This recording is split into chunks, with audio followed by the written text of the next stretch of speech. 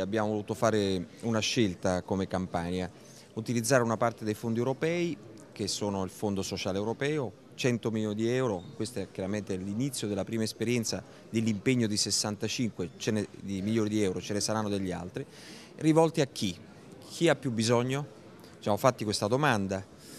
eh, siamo diventati anche noi eh, solamente un'altra regione meridionale, la Sicilia, abbiamo voluto utilizzare subito questo strumento. Quindi 100 milioni di euro destinati a chi ha più bisogno,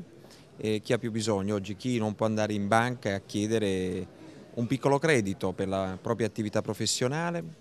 per la propria buona idea,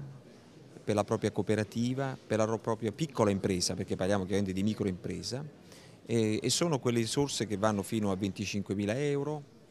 a tasso zero con un sistema appunto di eh, rientro molto graduale, molto, molto, molto facile molto accessibile. E, le persone che hanno questo bisogno, che vogliono fare appunto attività, e sono tantissime, noi abbiamo avuto circa 6.000 domande, quindi lasciate immaginare che attesa c'è,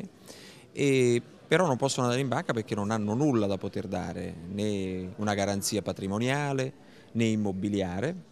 eh, sappiamo com'è la situazione del credito oggi qui da noi e quindi ci è sembrato dare questo segnale di ossigeno. Con una selezione chiaramente, vengono selezionate le migliori idee, le migliori condizioni